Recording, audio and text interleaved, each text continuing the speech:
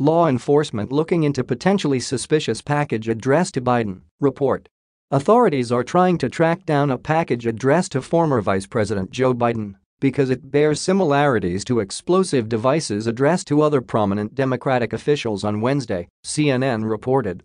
The network cited two law enforcement officials who said they're unsure if the package directed to Biden is connected to those sent earlier to former President Barack Obama and Bill and Hillary Clinton, among other prominent Democratic figures. A similar package arrived Wednesday morning at CNN's New York City offices addressed to former CIA Director John Brennan. The package was originally sent to Biden's old address in Delaware and was returned to the sender.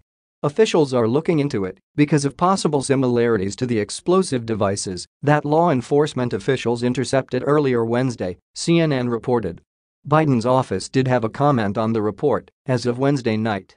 The Secret Service referred the Hill's inquiries to the FBI.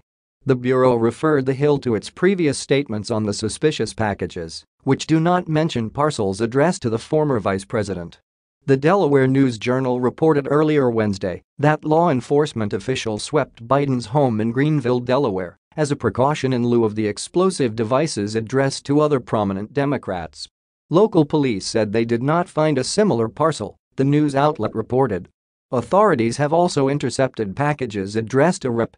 Maxine Waters, D. Calif. and former Attorney General Eric Holder. The packages reportedly had Rep. Debbie Wasserman Schultz's D. contact information listed for the return address. Wasserman Schultz said she is deeply disturbed that her name was attached. A similar device was discovered late Monday at the home of billionaire philanthropist and Democratic megadonor George Soros.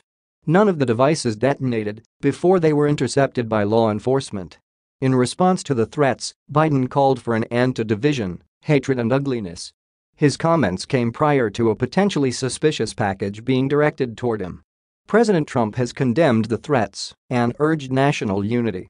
The president addressed the suspicious packages at the outset of his rally in Wisconsin on Wednesday night, vowing the perpetrator would be held accountable, while seemingly passing blame onto the media and his critics for the current state of political discourse.